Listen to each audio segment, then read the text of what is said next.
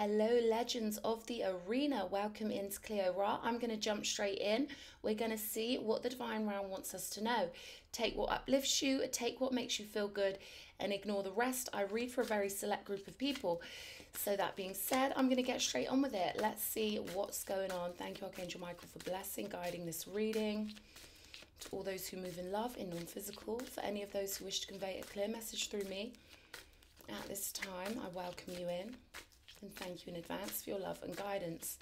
Okay, we've got the tower energy. Pluto is coming through very heavily here. I'm getting the message that someone's been holding something off, someone's been delaying something. And it happens so much to all of us that we know something inevitable has got to happen. And in this case, it looks like a huge transformation and a big angelic transformation with this judgment energy. This would be like being born again. I'm getting regrowing your wings, right? I'm hearing that song in my head, mending the broken wings. So I feel like you've known this is coming for a long time. For whoever this message is resonating with, you know how elevated you are. I'm getting this message of you know how beautiful your consciousness is and you know how kind your heart is. And i feel like there's a situation that you've been in that's been dragging you down. Like spirit showing me an elevator and that every time you've been going into this situation it's been pulling you down in frequency. But what they're showing me is one of those elevators that actually have a cage. We don't really have them in the uk maybe they have them in industrial places. I don't know. But they're showing me like an industrial cage elevator and that there's a situation you've been going into that you know you've been feeling this has been having an effect on your frequency because you are someone who's got this golden aura, this really beautiful, light-hearted way about you. And I don't know if there have been people around you who've almost been making you feel like you're the one who somehow has to shift your energy down to be appropriate. And I feel like you're outnumbered here. I really do. I'm feeling this energy of being outnumbered by low consciousness, people who will think they're doing it right, because they're all doing it the same. And I feel like maybe you're the odd one out in a certain situation. I'm getting the word fluttering, like there's something soft and beautiful and light about your aura and about the energy you carry. I'm getting that for someone out there, you've got a one degree placement, a Pisces placement in one degree. That could be relevant to this. It's almost like they're showing me a crack of a door being open. Now, anyone who's worked with voodoo tarot and things like that, you understand the concept of things peeking at you from beyond the veil, cracks opening, doorways opening. But what I'm being shown for this is that you are the doorway. And your soul is this. Oh, God, that was a lot they just gave me. Okay, okay. Your soul is the cracked open doorway that allows these beautiful, fluttery, gorgeous, buttery, they want me to say buttery and they're showing me buttercups, those little yellow flowers that in England we will hold them under our chin. And, you know, there's some little folklore thing to do with buttercups that may be relevant to someone watching this. What Spirit is telling me is that every time you open the door of your soul, every time you be yourself, it creates a reaction in some situation, or maybe this is a lifelong thing where the energy you're supposed to bring into this plane, it's been met with some resistance because there's something about your energy and they're showing me a gentle ocean. You know, those beautiful little surf kind of energies that come in when the ocean isn't too stormy and it's a gentle lapping. It laps at the beach. And then they're showing me this big pile of rubble, which is stopping these gentle ocean waves from flowing the way they're supposed to be. This is the rubble. You are the soft ocean waves. You are the angelic water that's supposed to clean this plane of existence.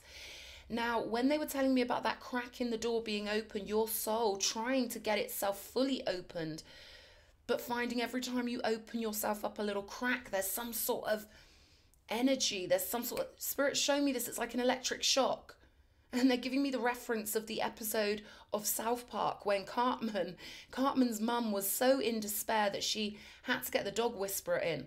And Spirit's being kind of humorous with this, where Cesar Millan would have to go psst, to try and control. Normally, it would be to control the animals, right? But in in the case of the South Park episode, they were jokingly, you know, using it to control Cartman.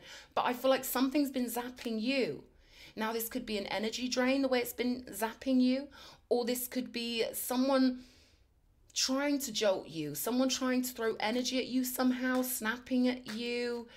This could be people talking behind your back in a certain situation, but you're feeling this energy and it's almost like electric shock kind of energy where it's affecting you, it's affecting your nervous system because your gentility is so needed on this planet. This essence that you've got that is so refined compared to these energies I'm feeling down here, who are low vibrational. And, you know, when I hear an energy and non physically scoffing as if to say, You are worth a million of these, my dear, Spirit sees everything. You are worth a million of these energies that are trying to drag you down.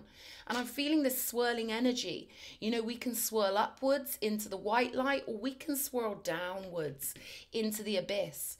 And I feel like the people you've been dealing with, you know, it's like those people that have been in prison for so long, it starts to feel normal to them. Whoever you've been dealing with here, their souls are they may not appear on the surface to be the lowest vibrating souls. They may seem like normal people with normal jobs or something like that. But there's something about the spiritual state of their being where, yeah, spirit keeps shaking their head saying they will not ascend, they will not get through to the next world. So, as much as these people seem like they are such important presences, or as much as they've taken up space and energy and they've taken up space in your mind, Spirit keeps scoffing and shaking their head. I've got a guide coming through who's particularly quite strict, you know, like one of those strict teachers we used to get back when teachers gave a damn, right? Those, I love a strict teacher. If you're a strict teacher, no offense, but you know, it's getting kind of dire out there. This spirit guide is coming through with a very strict, stern energy. Okay, wearing a cloak. Now, this is either an old headmaster's cloak or something very similar. Okay, hmm. Show me a strange hat. What are those? Quaker? A Quaker? Something like a Quaker here coming through also.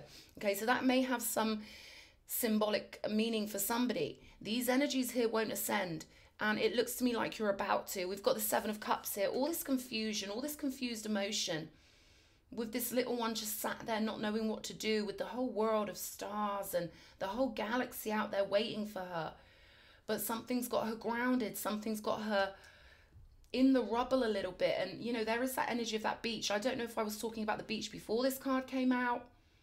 But, you know, this ocean is hitting up against her. It's almost like, yeah, Spirit saying there's something you've got to do to stop blocking your own flow. Because it may feel like these people are blocking your, your, your flow. I was about to say throw then, so I don't know if someone's been wrapping themselves up in a throw or if you're about to throw somebody out, but that came through for a reason. Maybe someone's thinking about kicking someone out. Maybe you feel bad about it, but Spirit's saying you know you need to release yourself. You know you need to be free. That's for one person out there. Someone who doesn't value themselves as much as they should. Someone who doesn't realize that the fact that they don't fit in with these ones who will never ascend, who will never shift their consciousness. Spirit's telling me they, they haven't got one grain of kindness. As someone I'm picking up on, they don't they don't have one grain of kindness. And Spirit doesn't want you wasting your kindness on them. If there is anything lurking in your mind where you feel like maybe I shouldn't go or you know, I'm seeing a big change here with judgment. This is a huge regeneration. And with the tower right next to it, what I'm getting here loud and clear is that if you don't make the decision you know you've got to make, the tower will come along and they're showing me Skittles, they're showing me a bowling ball, and everything will be arranged by the universe because you're supposed to be in this condition here. And it's funny how I say you're supposed to be in this condition because I was thinking situation. So the Empress coming out, this is about birth and fertility, and we've got this beautiful waterfall in the background here. Emerald green is coming through really powerfully with this one. And they're telling me you knew this was coming. You've got very crystal clear vision, and your crown chakra is, is lit up. And I feel like you're the one who's had all the power. And like with so many good hearted people on this planet, the devil never sleeps. While we're worrying with our big hearts if we're doing the right thing or not, we're slowing ourselves down. Whoever you've been dealing with here, they don't stop and pause to wonder if they've done right or wrong. They are blind, they are unconscious, they are ignorant. But Spirit's not letting you go. Judgment energy with the Empress. It's time for you to, I feel like, get out of this confusion. Because I'm seeing someone strutting along the beach now, like Baywatch style, with this Seven of Cups Yeah, some people stand in the darkness, afraid to step into the light. And I feel like what's been happening with you is you've inadvertently been going into the darkness. Maybe you've been picking up on other people's anxieties. I'm getting stomach pains here because this is going to affect your solar plexus. Someone could have been to the doctor and someone may even think that they've got something serious like irritable, irritable bowel syndrome, when really, the minute you take yourself away from these low vibrational worlds, everything clears up because your energy rises back up that elevator, back into the divine heavenly frequency that you emit. And they're saying that you permit. So there's something about your presence that permits this door to open to the non physical this door that so far I feel like has been open a crack, and Spirit wants you to swing the doors wide open, a bit like this chariot card. And you can see more wings on this card, galloping forward really confidently. There's a really easy choice here, but it may require you to realize where maybe you've been too kind, where maybe you needed to have the pillar of severity. Our kindness is wasted when we don't have a balance right? And I feel like you're going to get this balance going on really beautifully with the chariot energy. Let's see what else is coming out here. Okay, there we go. There's the title card coming out. So this is a very special message. We've got the Three of Wands here, the title card, which is my card that represents a nod from the elders, a nod from the gods. Yeah, Eight of Pentacles. Something's really coming along to get you right in where you fit in. And this lady's sewing here. So there are many things being done non physically to bring this situation together so perfectly for you to become abundant, fruitful, or more abundant, more fruitful. This to me is so much about your emotions and so much about letting your emotions guide you in the right direction because there's something you've been putting off. We've got this Queen of Swords here. Oh, look at her head held in the air, her big pointy sword of truth, her knowing that her truth about how she feels is all that matters. You know, sometimes people feel like they've got to stay with people out of guilt. You know, they don't want to break up with people because they feel bad. They're like, oh, what will this person do without me? There could be something going on like that here for someone.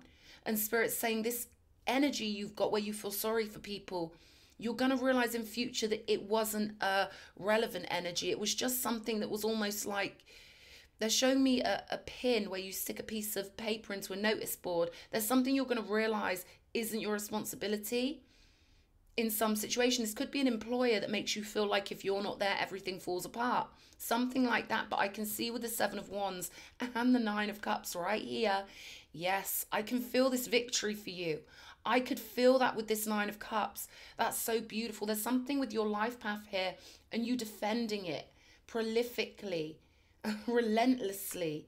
This is about you being so hard in your positionings. And there's that pillar of severity and the pillar of mercy. Without us having that strict Saturnian nature, without us representing essentially our grandparents, our elders, you know, those ones who represent tradition, all of the love falls down.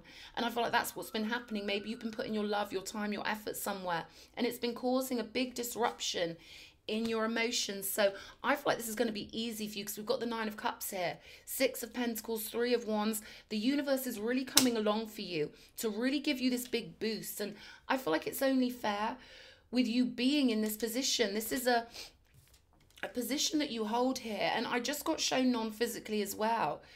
It's almost like you're a gatekeeper. That's it because I just felt you with a, it's almost like with a staff stuck into the metaphysical net of reality. It's a gatekeeper energy or a doorway opener energy or something no one's ever heard of that has to do with letting energy flow in from non physical. It almost feels not quite like hacking, but where you go physically, it's almost like you plant a flag Okay, so what Spirit's giving me here is that if you can be happy and high vibrational, then anywhere your energy goes, you can open this non physical doorway. But let's say you go to a new place. Let's just pick London, for example. Say you've never been to London before and you go to London and uh, you don't have to be consciously aware of the fact that you are a spiritual light worker to do that, right? But let's just say you're in London and the ideal thing for you as a light worker or as a spiritual chosen one on this planet would be to get yourself cozy in London, to get your frequency tuned and warmed up, and to bathe you in happiness until your frequency goes ping and it hits the height of your crown chakra. Then you anchor in the energy. And what I'm getting here is whatever situation this is, People have been making sure that before you get cushy, before you get comfortable, before you get happy and ping your light on, what's been happening is people have been doing weird things to you. This is weird energy that you've been picking up on that probably didn't even make sense, but I'm getting for whoever this message is for, you know, and you've known a long time that you've got to turn your back. And spirits laughing here, like you already know, but just like most of us on this planet, you know, it can take us a minute sometimes. Okay, they're saying you know, it might have taken you a minute, but you're building in the background, you're sewing details in in the background. So they're saying your pace is perfect. Okay, they don't want me to make you feel rushed by them, but they just want to give you this kind, comforting reassurance that the decision you know you've got to make, they're there with you. They're helping you make it. And right now, it could feel like it's trickier to make this decision that you've already thought of, that's already resting in your soul because of these emotions. Yeah, it's like a bathtub that needs to be emptied out. So let's have a look here. What else do we need to know? Turtle energy coming out on the table. Let's get another one yeah, I feel like you've been hiding your power a little bit, or this is more about you getting yourself prepared. This is almost like with these details you're picking up on, spirits comparing it to an actress or an actor who has to memorize their script before they go on stage. So I feel like you've been doing that. Whatever situation this re- represents, it was perfect for you to learn. But I do feel like you're going to be like a turtle crawling out of your shell because I'm getting that shaggy lyric just like a turtle crawling out of my shell, right? Buffalo energy. So this is how staunch your energy is. This is how firm, this is how rooted, this is how grounded your energy is. And it's funny because as soft as this energy is non physically, this is how entitled you are to hold your space on the earth. Okay, so there could have been people who insinuated or inferred or gave you the feeling that you weren't wanted or that you somehow didn't belong in certain spaces or places. And what I'm getting with this buffalo is that you work for God, you work for the divine. If anyone's entitled to be there, you are. They want another one for this because they want you to be really sure of your divine work on this planet and this back turning thing, I feel like the minute you turn your back on this, your emotions are going to lift up. You're no longer going to be sat on the cold, damp, wet sand, fully clothed, right? But you're going to pick yourself up and you're going to be in your Garden of Eden. This is heaven on earth. And look at that big, golden, beautiful shield here. For someone, it's inevitable that you put this golden shield on, but you're going to do it. You know if this message is for you. Yeah, we've got the starfish here and the sea serpent. So you're sitting on all this unleashed potential, but right now you're bringing all the details together. The universe is helping you do this. And yeah, with the Queen of Swords, she operates without any emotion whatsoever. She operates from a very high position of consciousness where she sees the long term and she sees that if she doesn't do something right here, right now, it could affect her long term security further on. So, this is just about not rushing you, but this is just about that lack of guilt, that knowing that you're here to live your soul's purpose and no one else's, right? Let's have a look at the Empress because this would be Libra in the coldest, coldest, most detached format justice, you know, the judge, you know, seeing things completely coldly and fairly, though. That's the thing with the Queen of Swords. She seems brutal, but she's pure justice. She's as fair as fair can be. And then we've got this Empress, Taurus Libra energy, pure Venus. Venus exalted on the plane. Venus brought forth into physicality. Okay, they're saying you're going to feel this tickling you. You're going to feel this energy tickling you because there's something that's dying to get out. This is your rebirth. This is you. Maybe for someone out there, you feel like you're coming back to life. We've got the Page of Cups coming out on the Chariot. So there could be a new offer coming in, a job offer, something coming in right at the right time, a message that you need to hear, something that's going to lift you up.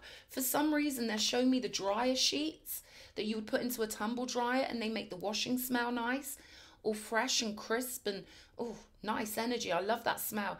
Eight of Pentacles again.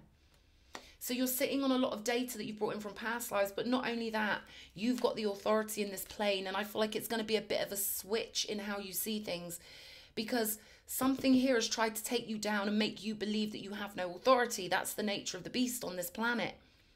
They always try and make you feel like you're the opposite of what you are. They always try and make you feel bad when you're good and good when you're bad and all that crap.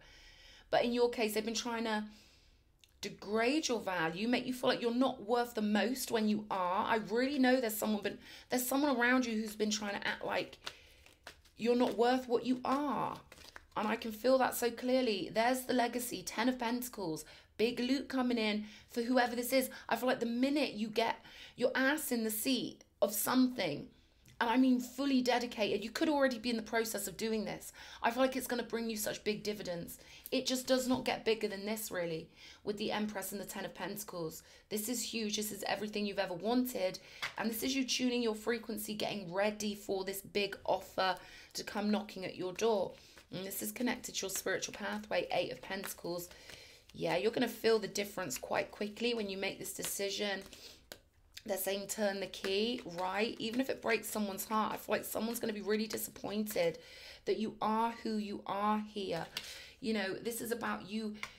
They're telling me this is about you being committed to your soul's mission, committed to your birth chart, committed to your own consciousness and your own soul's development. And if it means someone's going to be a little bit upset for a minute on the earth plane, then so be it. But I feel like, you know, big changes coming with death energy. The universe will kick us up our ass if we don't do what we promised and told ourselves and committed to God that we would do, right? Death energy, Six of Pentacles. There's a big gust of wind blowing through your life. And you're being guided here with the Six of Pentacles in the right ways to take powerful roadways. They're telling me powerful courses of action. With the King of Cups and the Three of Wands, two cards where we can see the ocean and the full potential that the vastness and, and unlimited nature of the ocean bring us. And I feel like that's what you're going to do. You're you're diving into something here. But this is with power and this is with emotional depth because I feel like whatever situation you've been in, maybe hearing this reading will make you realize hang on a minute. They had the nerve to try and act like I was the opposite of who I am when I'm chosen, when I work for God, when I've got this divine legacy in the non physical. People thought they could get me to stick around. People really are that selfish that they don't care about ruining your whole soul's mission. They don't care if it messes up your future for the next 10 lifetimes as long as they get their codependent fix. You're too good to be giving people their codependent fixes. Yeah, look how that flipped over. I feel like you've been nurturing someone or some situation that you've known was doomed to crumble. And I feel like Spirit wants you to get ahead of the game. Where's that chariot card? Spirit wants you to get ahead of the game here and move forward with oomph, with that big power, with that ferocious energy of being ferociously sure of who you are and very confident in your emotions and very confident that your emotions are always the indicator and that if something doesn't feel right for you that's your spirit guides telling you it's not for you someone could have made you feel like you're doing something wrong or that you're picking up on energies wrong i'm getting uh, uh, you've got your own internal guidance system so that i really want to impress this on someone's mind if there's someone out there that someone's been trying to tell you you can't trust your own feelings, they're lying. You've got your own internal guidance system, and if something doesn't feel right for you, it's because your soul is telling you it's not right for you. Follow your own heart at all times, my darling. Okay, that's for someone out there. I hope this reading's helped, my babbers. I really do. And uh, send you big kiss, lots of love. Mwah.